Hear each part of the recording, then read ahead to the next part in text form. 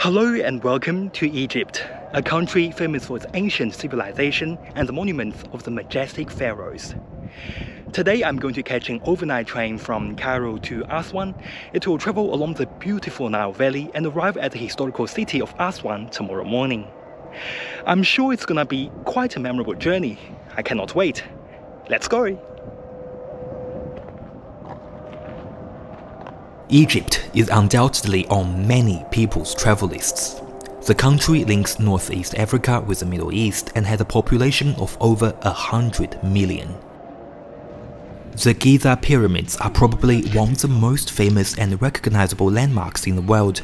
They are a testament to the incredible achievements of the ancient Egyptians and their enduring legacy. The capital city, Cairo, is a bustling metropolis with a rich history, vibrant culture, and diverse population.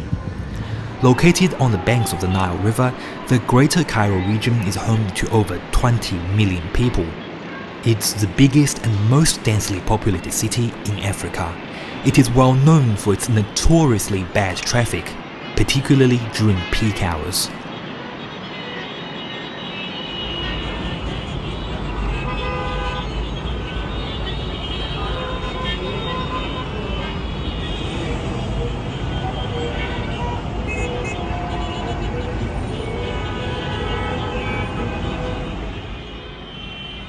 Therefore, it is crucial to plan trips accordingly and account for extra time to reach destinations. The main train station of Cairo is called Ramses Railway Station. The name is derived from the ancient Egyptian pharaoh Ramses II. The current building was erected in 1892 and has undergone several renovations over the years, with the most recent one completed in 2017. The easiest way to get here is by taking Cairo Metro Line 1 or 2 and alighting at El Shuhada station. To purchase a train ticket, you can book online at the official Egyptian National Railways website or at the ticket offices at most major stations. Starting from December 2022, foreign travelers are required to pay higher fares than the locals. Do you need help? No, I'm all good. My train to Aswan tonight is operated by a private company called Watania Sleeping Trains. I bought my ticket on their official website. Alternatively, you may make reservations at their Ramses station office. Depending on the demand, the company operates up to three trains in both directions between Cairo and Aswan every night. Usually it is not necessary to book tickets well in advance.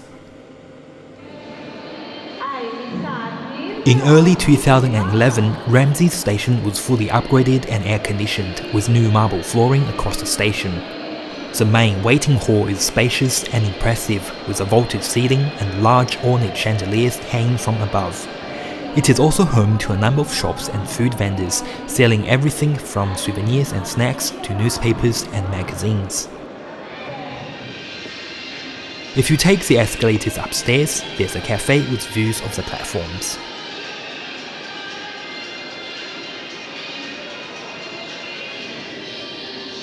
Ramses station has 28 tracks in total with a combination of dead-end and through platforms. The numbers are assigned from right to left. Platforms 1 to 7 are dead-end platforms, with platforms 1 to 4 located under the train shed. Northbound express trains to Alexandria usually use these platforms. Services to southern Egypt including Luxor and Aswan normally leave from the four through platforms numbered 8 to 11. Alongside platform 11, there are more dead-end platforms which are used by northbound ordinary trains. It's worth noting that a new railway hub is currently under construction in Greater Cairo. It is expected to be three times bigger than Ramses Station and it should open very soon. At the moment, all intercity and long-distance trains in Egypt are hauled by diesel locomotives. The country is planning to introduce high-speed trains in the near future with a planned speed of up to 250 km per hour. The current passenger rolling stock is varied with a mix of modern and older trains serving different routes. However, most trains are equipped with basic amenities such as toilets and comfortable seating.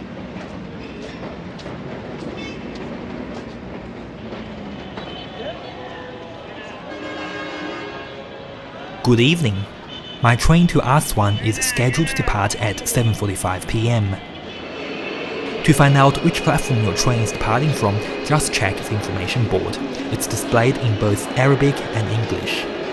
A ticket is required to enter the platform. Uh, Where do you go?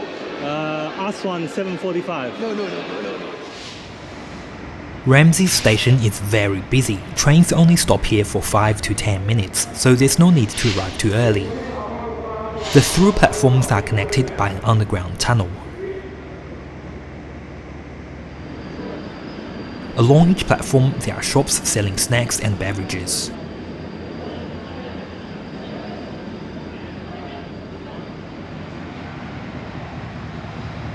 Here it comes! The train arrived 5 minutes before its scheduled departure time.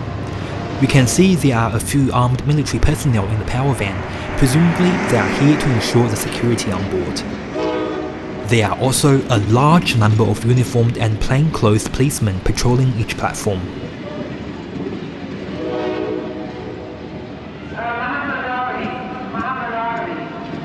Behind the power van, there are 12 air-conditioned sleeping cars and a lounge car. They were built in East Germany in the 1980s, but the interior of most carriages has been refurbished. Boarding was extremely efficient. There's a dedicated attendant for each carriage, so they could check everyone's ticket quickly.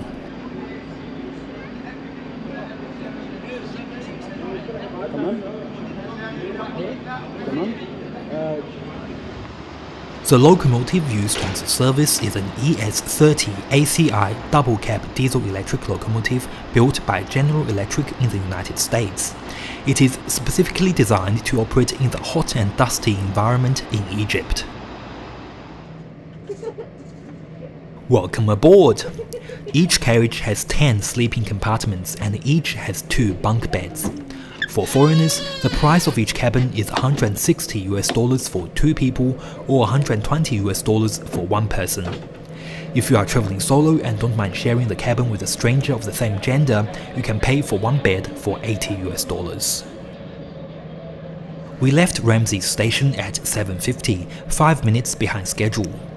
Soon after departure, the carriage attendant greeted everyone individually and showed me the features of the room. Each cabin door can be locked from the inside. Next to the door, there are controls to adjust the volume of the PA system, the room temperature, and the cabin's brightness.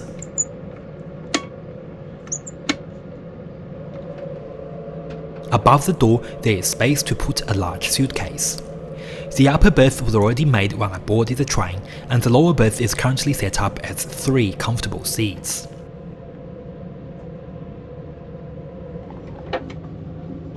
Since the cabin is designed to accommodate just two people, we can flip down the back of the middle seat to make it a table. This is a brilliant design. In addition, you can find two detachable tables if you don't want to twist your body when sitting and eating. Below the window, there is a rubbish bin. Next to it, there is a hidden wash basin equipped with soap, two cup holders, a power plug, and a mirror. Although it says that the power is for shavers only, I was able to charge my camera and phone throughout the journey.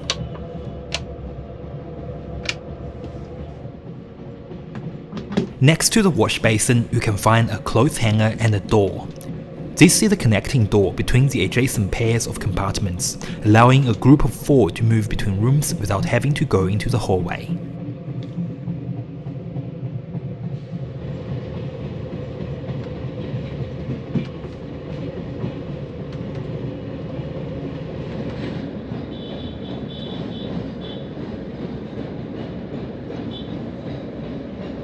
After crossing the Nile River, we entered the city of Giza. Giza station is 30 minutes from Ramses station by train. It is a major transportation hub for commuters and travelers in Giza and southwest Cairo. The station is well connected to the rest of the country's rail network.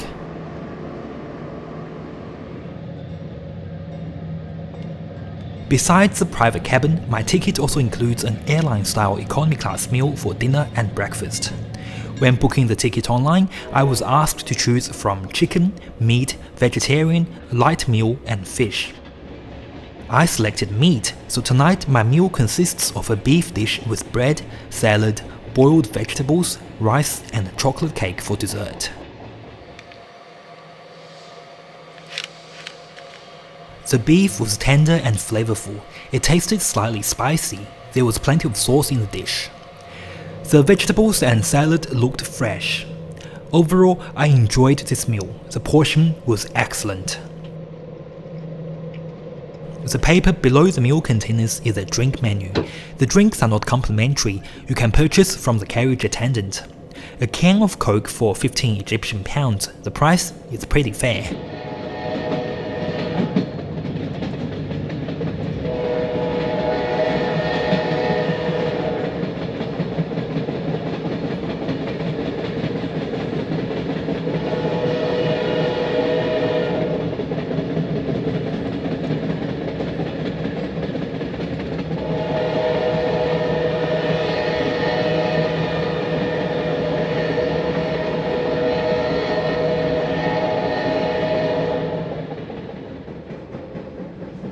Apart from the 10 sleeping compartments, one end of the carriage is the office for the attendant and the other end has two unisex toilets.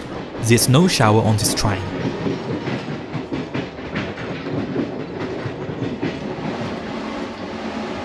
The toilets look pretty clean by Egyptian standard. There's running water, toilet paper, hand wash, paper towels and a hand dryer.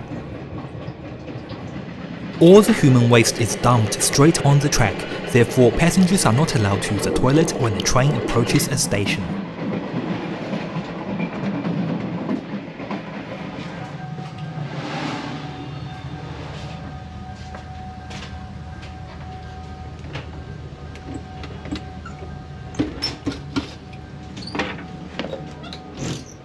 The lounge car is situated roughly in the center of the train. After dinner, everyone is heading that way. Although there were many locals waiting on the platform, from what I see now, the whole train is mostly booked by foreign tourists.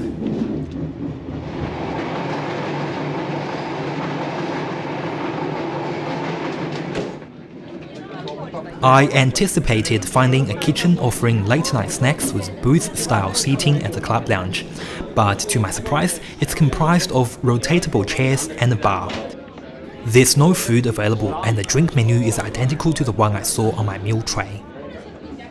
The lounge car opens all night, it was really busy so I didn't stay for very long.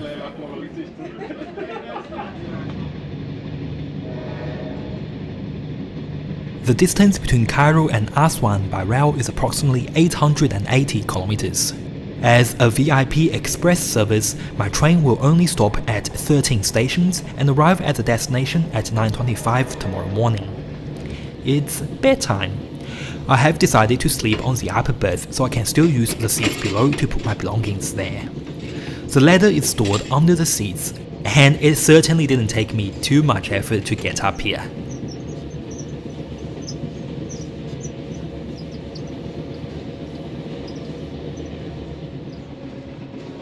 The sheet looks relatively clean, the bed is white and there's a blanket to keep me warm. The mattress isn't very thick, but it should be okay for the night. Up here, there's a small reading light with a train attendant call button, a little pocket and a cup holder. The light switches are within my arm's reach. I forgot to switch off the mirror light, otherwise the cabin could be completely dark.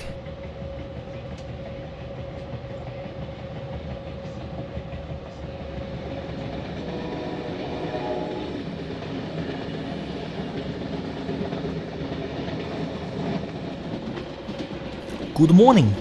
I slept alright, but during the night, even after adjusting the cabin temperature to the warmest possible setting, I still felt cold under the blanket.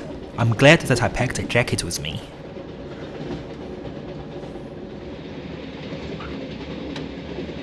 I decided to fold up the upper berth so I can still have more space while sitting down. The train is currently running 40 minutes behind schedule. The next stop is Luxor. This historical city is a popular tourist destination, often referred to as the world's largest outdoor museum as it contains numerous ancient Egyptian monuments and ruins, including the famous Luxor Temple, the Karnak Temple complex, and the Valley of the Kings. Luxor station has several platforms and serves a range of local and express trains to Aswan, Cairo, and Alexandria.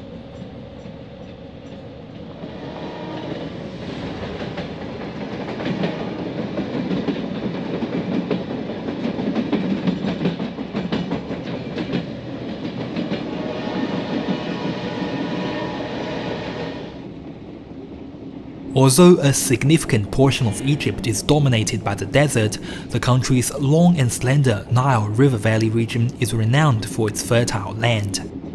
Fed by the Nile River and its tributaries, the region boasts rich agricultural lands that have sustained the population for thousands of years. The entire rail line from Cairo to Aswan runs along the Nile River.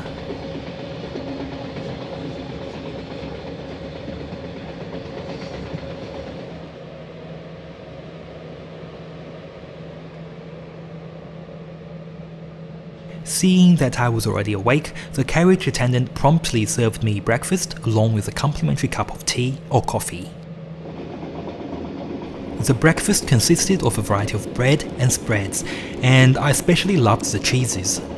The guava juice was too sweet for my liking, but again, by Egyptian standards, I was pretty satisfied with what they offered.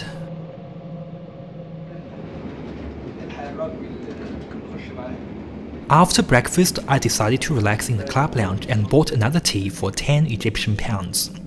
The lounge is a lot quieter now, the chairs are comfortable. Sitting here allows me to enjoy the scenery from both sides of the train.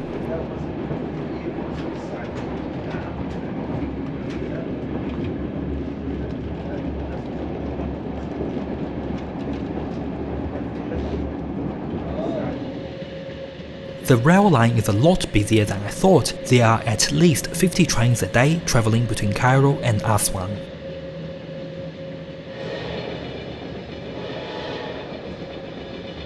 We are almost in Aswan, and here are my thoughts about this journey. My private cabin was relatively clean. The bed was comfortable, the food was delicious, the scenery was beautiful, and my carriage attendant was super friendly and lovely. The train departs from the center of Cairo and terminates in the center of Aswan. It was very convenient. I enjoyed my journey. In comparison, flying from Cairo to Aswan with Egypt Air costs around 80 US dollars in economy and 110 US dollars in business. I actually flew business class on my way back to Cairo, and I suggest you do the same so you can experience both modes of travel. Tipping is fairly common in Egypt, but it's not mandatory. At the end of the trip, I gave my carriage attendant 50 Egyptian pounds before getting off. The train arrived Aswan an hour behind schedule, which was expected as Egyptian trains don't usually run on time. Aswan is located in the far south of Egypt, near the border with Sudan. This is the southmost railway station in the country, serving as the terminus of the local and long-distance trains from Cairo and Alexandria. Welcome to Aswan. The city is renowned for its beautiful natural scenery, ancient monuments and bustling markets. It is a gateway of many famous attractions. There are a variety of Nile River cruises available as well, offering a range of amenities and activities such as onboard dining, entertainment, and excursions to nearby temples and sites. Thank you so much for watching. If you found this video interesting, please hit the like button and subscribe to my channel for more train and flight reviews.